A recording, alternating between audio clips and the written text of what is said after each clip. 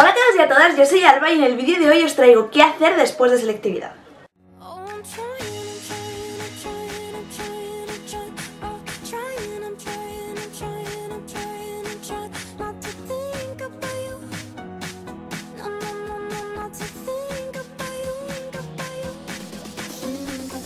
¡Qué calor hace la Virgen del Señor! A mí hoy me da algo, lo juro, eh, me da algo.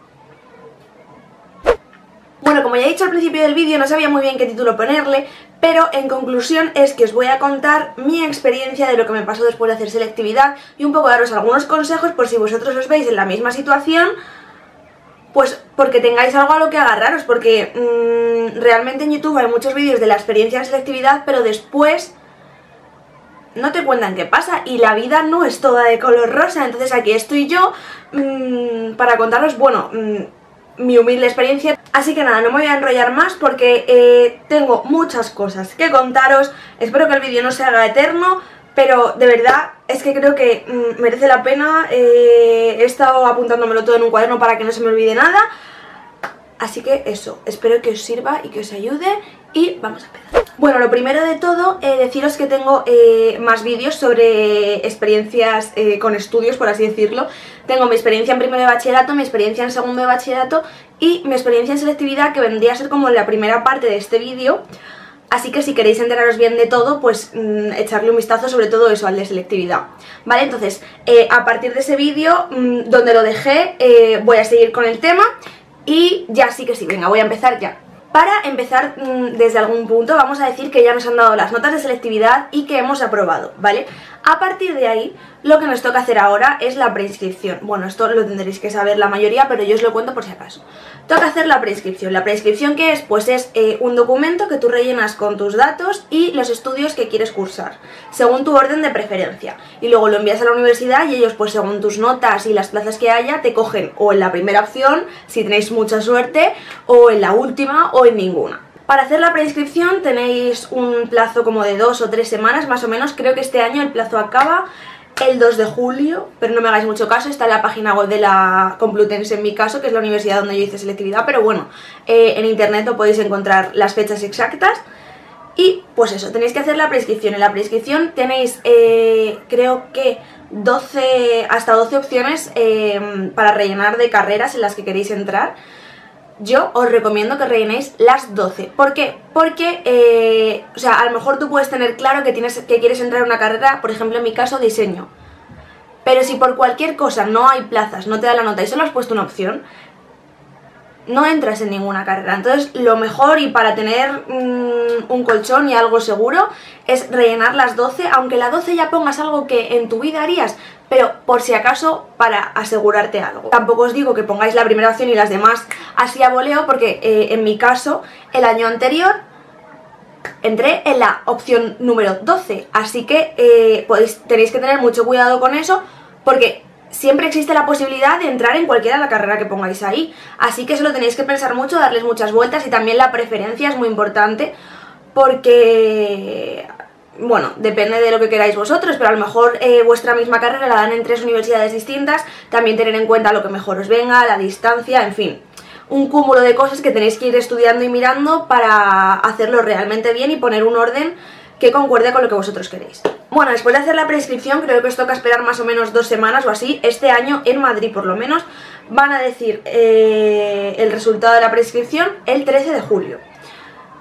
Entonces, si alguno lo está viendo, pues para que si os sirve que lo sepáis. Entonces, el día X, vamos a decir 13 de julio, eh, vosotros os metéis con vuestro correo electrónico y vuestra contraseña en la página web de la universidad donde hayáis hecho selectividad y pues ya te sale en qué carrera te han cogido. Yo el año pasado hice eso y bueno, pues a mí me salió que me habían cogido de Historia del Arte eh, mi última opción.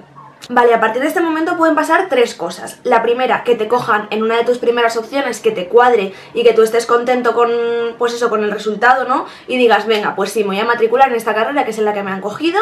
Entonces, pues nada, tú eh, tienes ya que rellenar unos papeles y bueno, si está en internet, llevas unos papeles a la universidad, te matriculas y pues ya estaría. Y es lo más fácil y ojalá eso nos pasara a todo el mundo. Pero la realidad es que no. Otra de las opciones más complicadas que puede pasar es que no te cojan en ninguna carrera porque no te ha dado la nota para ninguna de las opciones que has puesto.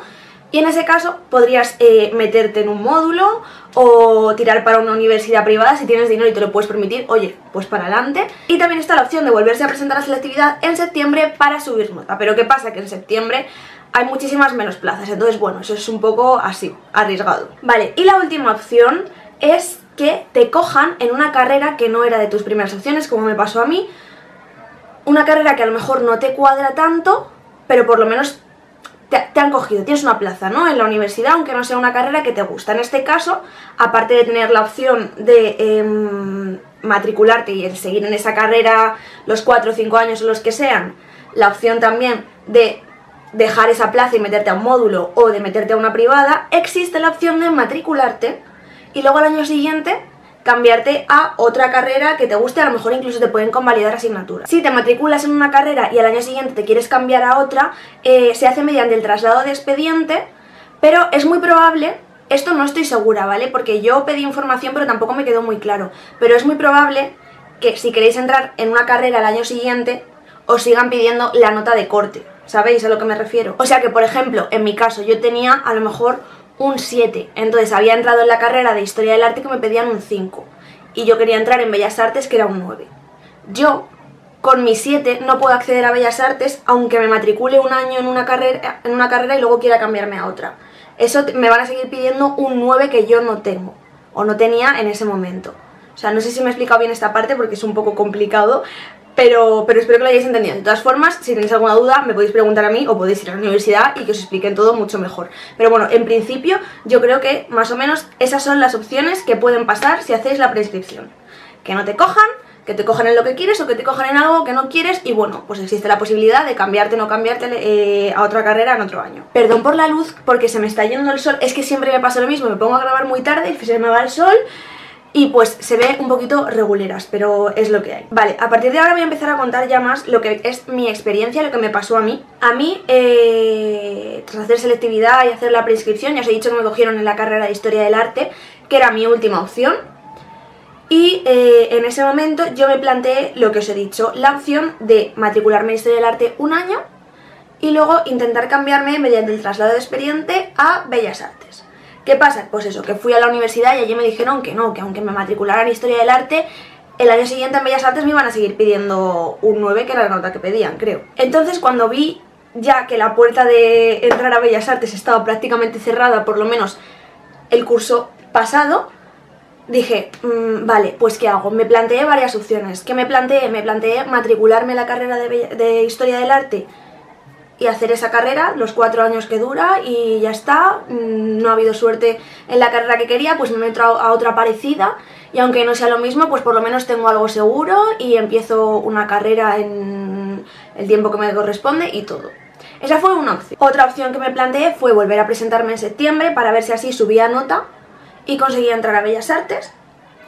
Y la última opción que me planteé fue simplemente eh, perder la plaza de Historia del Arte y matricularme a otra cosa que no fuera una carrera, un módulo, un curso, lo que fuera. Finalmente decidí matricularme en Historia del Arte, llevé los papeles que había que llevar pues eso a la universidad para realizar la matrícula, rellené todos los datos y todo, y a la vez también decidí presentarme en septiembre por si, oye, si había la posibilidad de subir nota, pues, pues no la iba a desperdiciar, pero me presenté solo a las específicas, es decir, a latín y a historia del arte. Bueno, el caso es que llegó septiembre, me tocó presentarme a los exámenes de latín y de historia del arte, eh, tuve mucha suerte y conseguí subir nota eh, en los dos, con lo cual mi nota de selectividad pasó de ser un 7 a un 8,98, o sea, un 9 más o menos. De hecho, con la nota que saqué en septiembre, ya alcanzaba la nota de corte de Bellas Artes. Pero ¿qué pasa? Que en septiembre ya no quedaban plazas, entonces esa puerta se me cerró totalmente. Con lo cual, al verme sin la posibilidad de entrar en la carrera que yo quería, decidí tirar para adelante, empezar con Historia del Arte y que fuera lo que Dios quiera. La verdad es que no tenía nada claro, todavía yo no sabía bien lo que estaba haciendo realmente. Y pues empecé a ir a clase y fui dos días y al segundo día la profesora me dijo que había un problema con mi matrícula, que había un papel que me faltaba, que era fácil de solucionar, pero que hasta que no lo solucionara la matrícula no se formalizaba. Entonces en ese momento yo me planteé, o sea, fue cuando me senté, me di cuenta de las cosas y me lo replanteé todo otra vez y dije, vamos a ver Alba, ¿de verdad quieres encaminar toda tu vida hacia algo que realmente no es lo que te gusta, que mucha gente puede decir, sí, historia del arte y bellas artes es parecido. No, y mucho menos cuando ya entré en la clase, vi cómo iba la cosa, yo dije, no, esto a mí, o sea, esto yo no es lo que quiero y no voy a encaminar mi vida hacia pues eso, hacia algo que no me gusta solo por el hecho de tener la presión de decir no, es que he acabado segundo bachillerato y según acabo segundo bachillerato me tengo que meter a una carrera por narices porque no hay otra opción. No, no, aunque, sea, aunque no sea lo que me gusta, no, no voy a hacer eso, no me voy a meter en una carrera que no me gusta.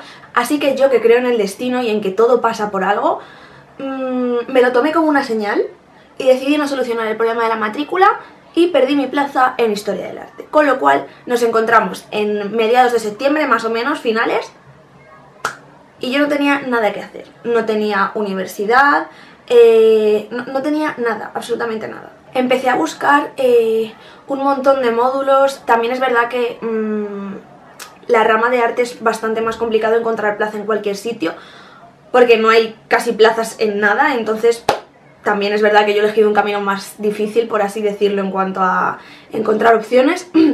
Pero bueno, me puse a buscar un montón de módulos, un montón de cursos, porque yo este año no lo quería perder.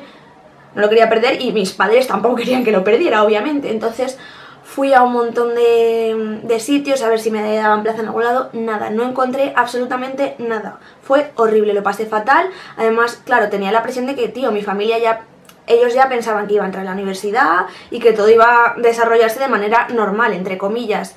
Yo iba a acabar segundo bachillerato, iba a entrar a la universidad y todo perfecto. Pues no, no fue así. Entonces yo estaba, tenía una presión que flipáis y pues al final no encontré, no encontré nada, o sea, fue horrible, lo pasé muy mal. Pero al final no me quedó más remedio que aceptar la realidad y era que me había quedado sin plaza en ningún sitio, no iba a encontrar absolutamente nada y ahora ya solo me quedaba mirar hacia adelante y buscar algo que pues si este año lo perdía, el año siguiente lo volvería a intentar y...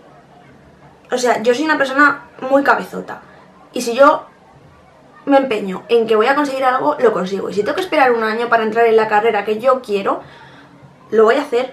Y eso ha sido lo que he hecho. Me he esperado un año, me he vuelto a presentar a selectividad, obviamente para subir nota y para tener algo también que hacer, ¿no? Un poco de prepararme selectividad. Sí que es verdad que solo he hecho una asignatura. Pero bueno, por lo menos yo que sé, algo es algo. Con lo cual, cuando ha llegado junio, me he vuelto a presentar eh, a la asignatura de Historia del Arte. Gracias a Dios he subido nota. y pues nada, otra vez estoy volviendo a hacer el proceso que hice el año pasado, ¿no? Me han dado las notas de selectividad, ahora he realizado la preinscripción y estoy a la espera de que me digan si entro o no entro por fin eh, en Bellas Artes, en diseño o algo que de verdad me llene y que me guste, no una carrera en la que me pidan un 5 y solo por eso ya me meta, ¿no? ¿Sabéis a lo que me... Estoy bastante contenta y tengo esperanzas porque ya sí que sí me da la nota para entrar. Entonces, eh, bueno, todo, todo puede pasar, no voy a cantar victoria todavía, pero yo espero que sí, que todo salga bien y que me cojan ya por fin en alguna de las carreras que quiero. Estoy emocionada y estoy nerviosa porque todavía no sé qué va a pasar, pero no sé, hay algo dentro de mí que me dice que esta vez sí, que esta vez va a haber suerte.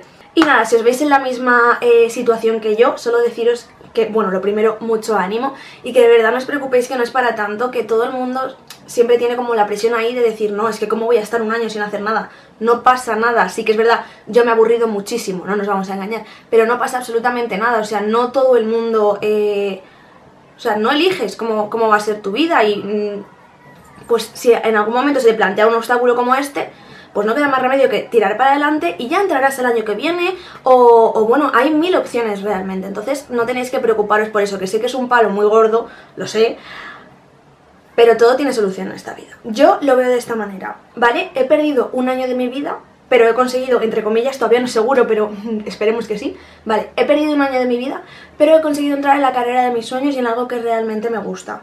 Si hubiera seguido en la carrera eh, en Historia del Arte, que fue la primera opción que me cogieron, si hubiera seguido en esa carrera que no me gustaba, que no me llenaba, solo por el hecho de la presión, de que se supone que es lo que debes hacer cuando acabas segundo de bachillerato, y de todo eso, habría perdido mi vida entera, porque habría gastado cuatro años estudiando una carrera que realmente no es lo que me gusta, y luego me habría tenido que dedicar a ello, ¿sabéis? Es que no es algo mmm, como para tomárselo a la ligera, yo de, por lo menos lo pienso así.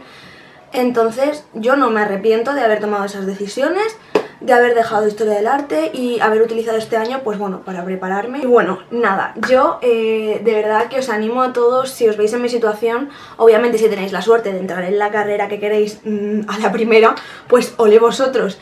Pero si no, no pasa nada, ya os lo he dicho, hay muchas opciones y, mm, y, todo, todo tiene solución. Así que no os preocupéis. Y nada, creo que hasta aquí el vídeo de hoy. Espero haberme explicado eh, bien o lo mejor posible. Yo lo he hecho lo mejor que he podido porque me parece un vídeo importante y que, joder, había que preparárselo bien.